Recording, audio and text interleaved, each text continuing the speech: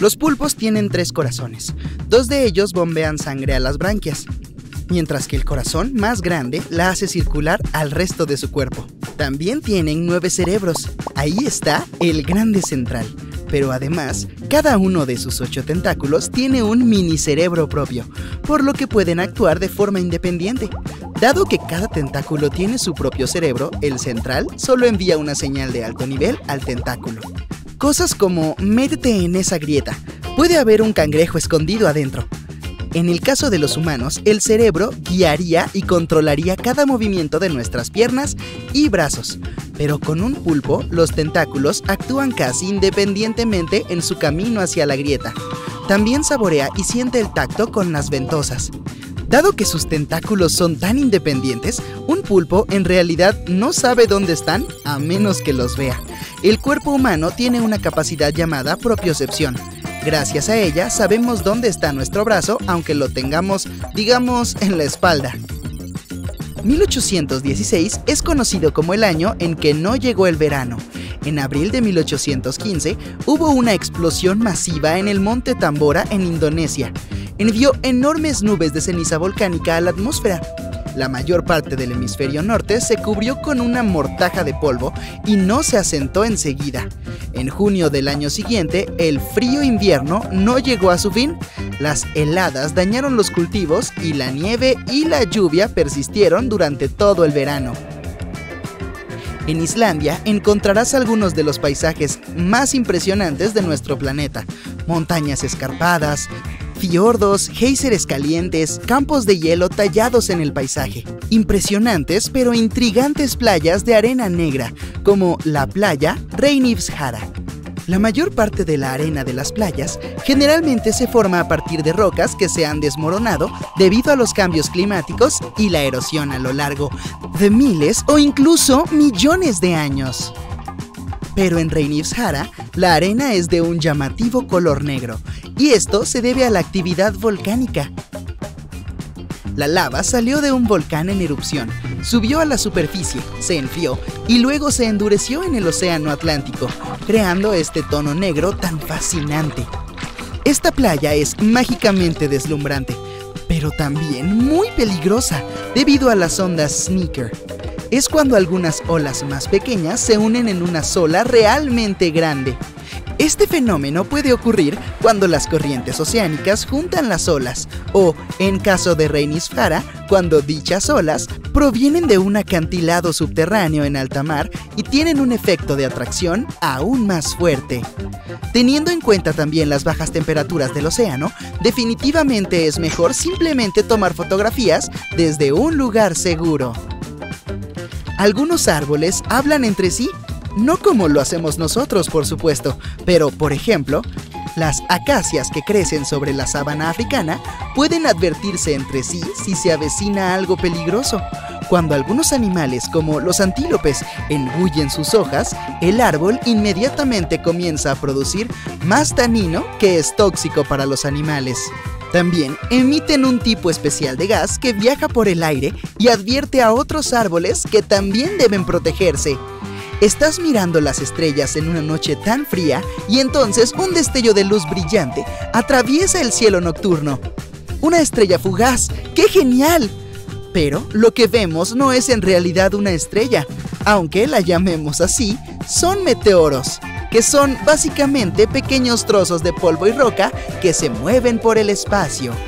A medida que atraviesan nuestra atmósfera, provocan algo llamado fricción, cuando una cosa se frota contra otra, y por eso brillan. Además, la fricción genera calor.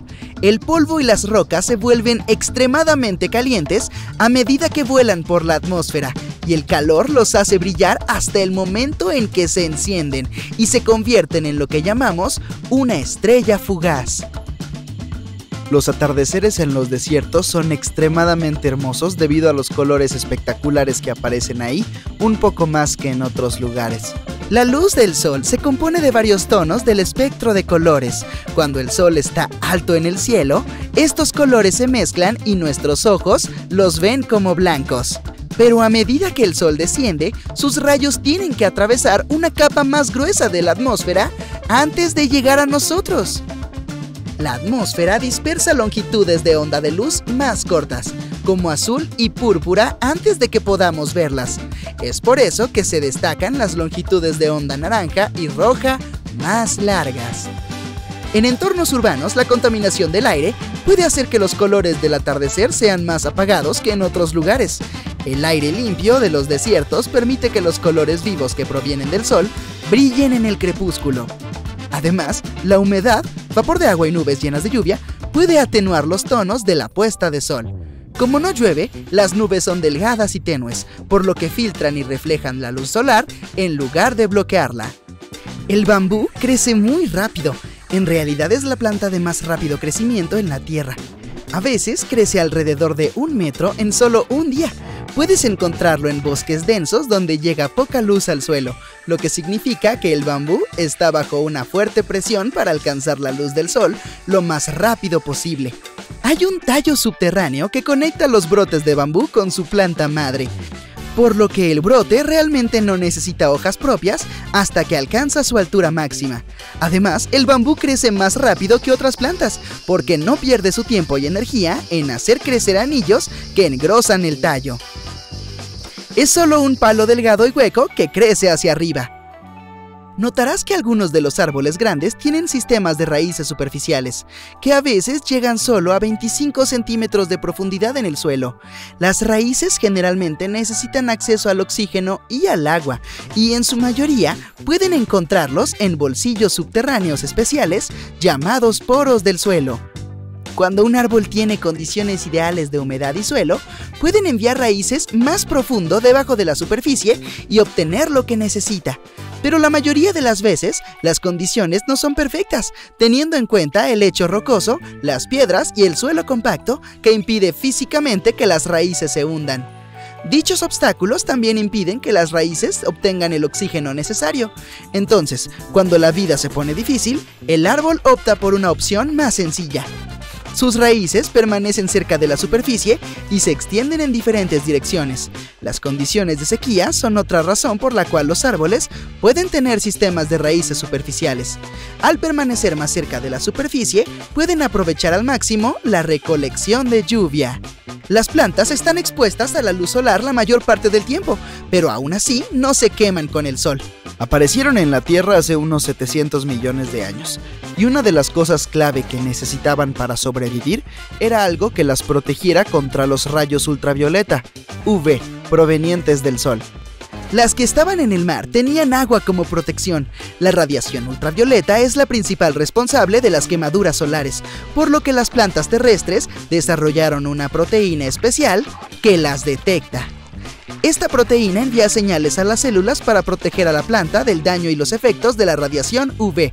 Básicamente, es como si produjeran su propio protector solar natural, pero esto todavía no significa que estén 100% protegidas. ¿Conoces esa creencia común de que si riegas las plantas bajo el sol del mediodía, esto puede causarles quemaduras solares? Algunos piensan que las gotas de agua actúan como lentes diminutas y luego enfocan la luz del sol sobre la superficie de la hoja pero no son lo suficientemente fuertes para enfocar la luz solar de una gota de agua sobre la superficie de una hoja. Es solo que su protector solar natural no significa protección total. Demasiada exposición a la radiación UV daña las células en las hojas y la corteza de la mayoría de las plantas. El núcleo de la Tierra es tan caliente como la superficie del Sol. Uno pensaría que podría derretir fácilmente todo nuestro planeta, especialmente porque el núcleo está a solo 2.900 kilómetros de la superficie. Si el Sol estuviera tan cerca, seríamos como papas fritas. Pero estamos vivos porque el centro de la Tierra está rodeado por un manto de roca que es en su mayoría sólida. La corteza sobre la que caminamos en realidad flota sobre este manto y nos protege. Si el Sol estuviera cerca, solo tendríamos espacio vacío para protegernos, y tú y yo no estaríamos hablando. Además, para derretir todo el planeta, necesitarías mucha más energía que el calor de su núcleo. Así que eso.